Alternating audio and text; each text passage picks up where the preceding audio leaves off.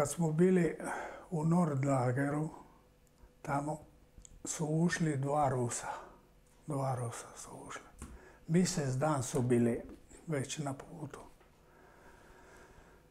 I su došli u logor i su sve nas činili da dođemo, da vidimo tamo čaje i kako je.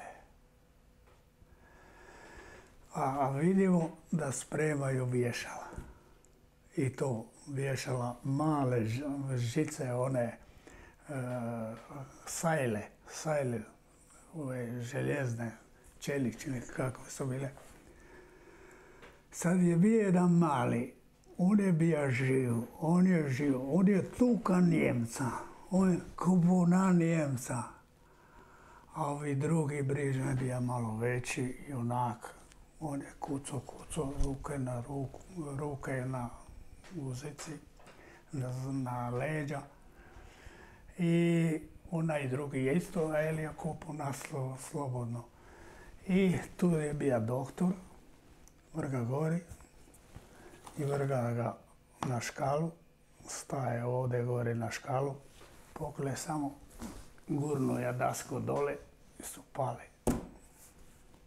I oni su nam rekli sada, ajde, ko zna njemački i svoj jezik, neka reče, neka zađe van i neka reče čas su činili ovi ljudi.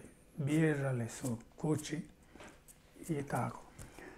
Eli nije nijedan, jedan se nije javio tamo.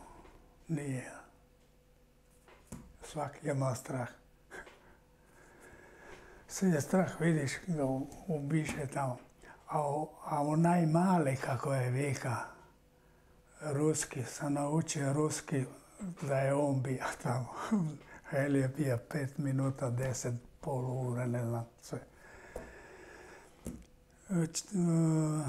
Po njima, kako ne, vi dijete, ne, ću po našom reći, neću, ne mogu da reći više na besedu. Kaže, vidite vi njih, zapamtite kad zađete vam, osvetite njim se, osvetite njim se. To, to sam razumio kada je ruski govorio. Kaže, vi šta rade od nas, ke strađe. vi kad ti mali, oni drugi mučaju i ubisili su ga. A mi su je okolo gledali.